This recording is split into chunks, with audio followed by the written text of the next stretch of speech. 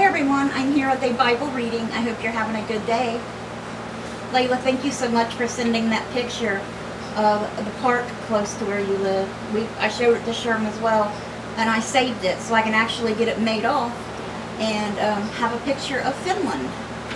So Layla lives in Finland, and she's my really good friend and sister, and she shared a picture with me on Facebook today of a really pretty park close to where she lives. It's really beautiful and it make me feel special to have a piece of where you're from, you know what I mean?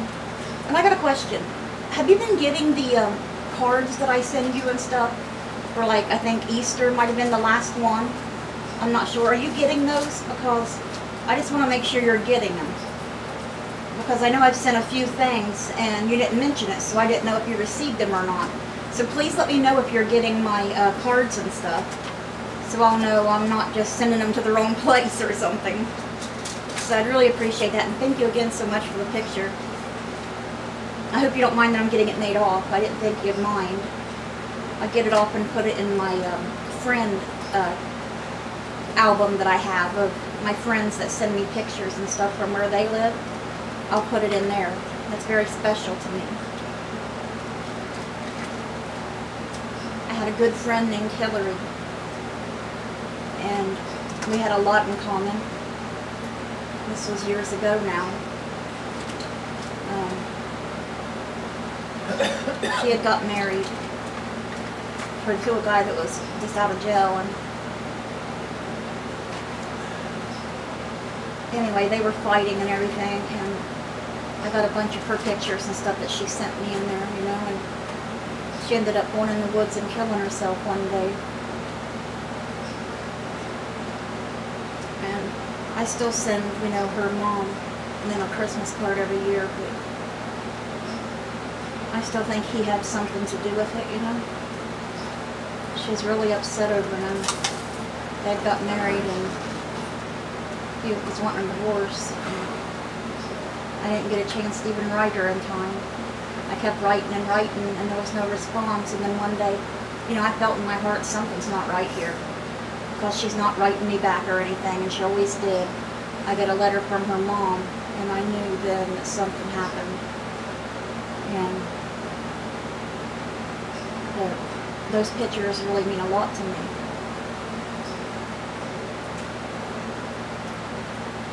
Maybe one day I'll show you guys my album. But right now it's kind of hard still, you know. She loved to collect unique vases, flower vases. And I remember that so much. Anyway, I'm sorry. Back in memory lane here. Please keep the following people in prayer. Luke Boggs and his mom Bridget. I have not had an update today, but yesterday was going to be a very hard day for him at the hospital. So please keep them in your prayers. Please pray for Joyce Light. I think I told you yesterday, but in case I didn't or you forgot, I finally heard from her. She fell. She's 84 years old, by the way. She's a dear friend of mine. And she went outside on her porch and fell. Her, luckily, she was able to crawl back in the house and call her son, which doesn't live far away, and him and his wife came over, and um, she had blood all in her hair. They had to help her get out, and they took her to the hospital. She broke her pelvic bone so she can't get around without a walker right now, and I know that's probably driving her crazy. So um, it's only been one week, and it's going to take six weeks, they said, before her pelvic bone would be healed or whatever.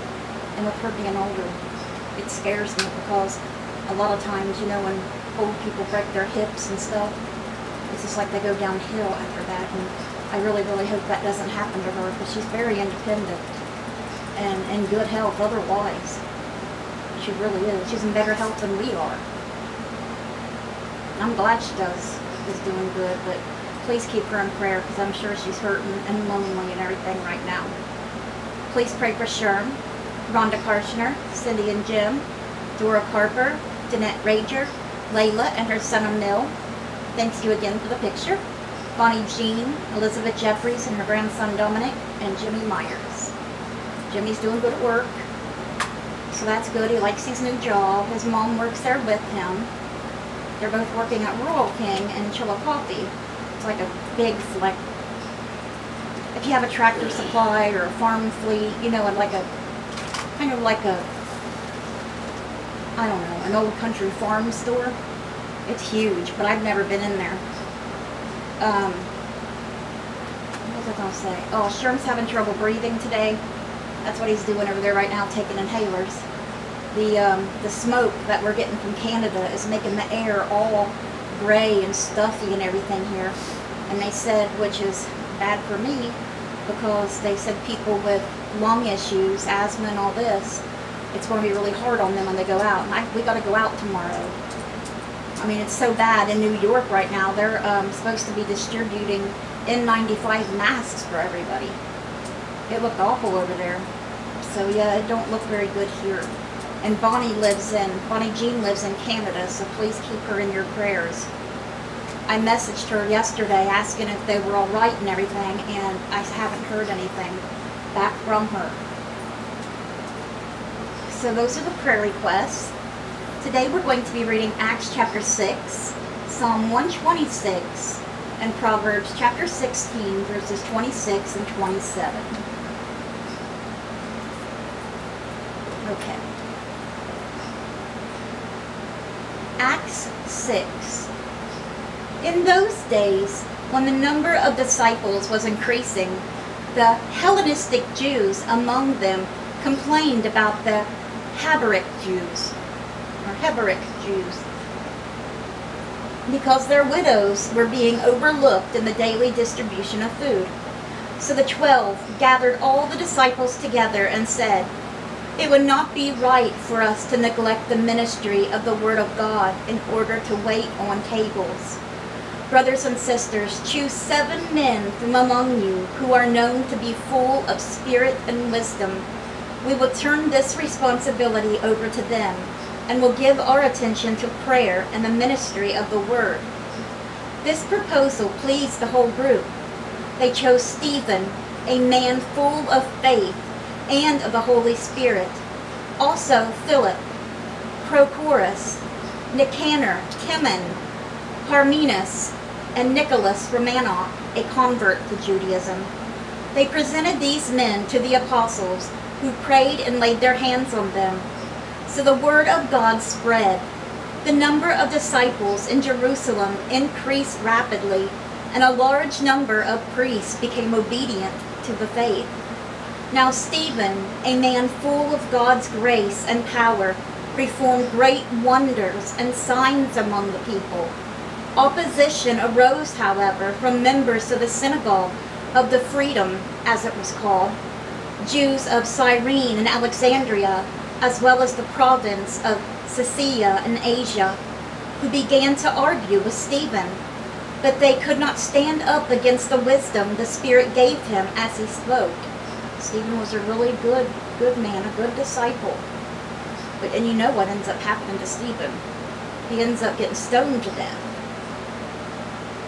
for his faith, for being a Christian, spreading the word about Jesus. Then they secretly persuaded some men to say, We have heard Stephen speak blasphemous words against Moses and against God, which is a lie, just like they had false witnesses uh, to testify about what Jesus done that he didn't do. Okay, these people are not afraid to lie. So they stirred up the people and the elders and the teachers of the law. They seized Stephen and brought him before the Sanhedrin. They produced false witnesses who testified, This fellow never stopped speaking against the holy place and against the law, which is a lie. For we have heard him say that this Jesus of Nazareth will destroy this place and change the customs Moses handed down to us. All who were sitting in the Sanhedrin looked intently at Stephen, and they saw that his face was like the face of an angel. Let me read that last part again, just so you can get this. All who were sitting in the Sanhedrin, all these people that were judging Stephen, looked intently at Stephen, and they saw that his face was like the face of an angel. Innocent, pure, like a child, you know. So how could they kill him? Right?